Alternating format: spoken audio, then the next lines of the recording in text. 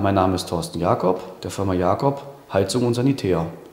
Ich bin in der vierten Generation Handwerker und diese Firma ist 1892 von meinem Urgroßvater gegründet worden. In unserem Team sind acht Mitarbeiter. Wir arbeiten im Bereich Sanitär, Heizung und Klimatechnik. Im Bereich Heizung vom Kundendienst über moderne Öl- und Gasfeuerungen, solarthermische Anlagen, Wärmepumpenanlagen, Biomassefeuerungen. Im Bereich Sanitär auch hier von kleinen Reparaturen bis hin zur kompletten Badsanierung alles aus einer Hand.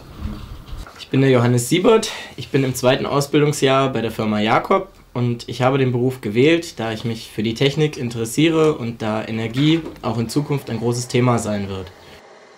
Das Handwerk ist Zukunft und bietet Perspektive.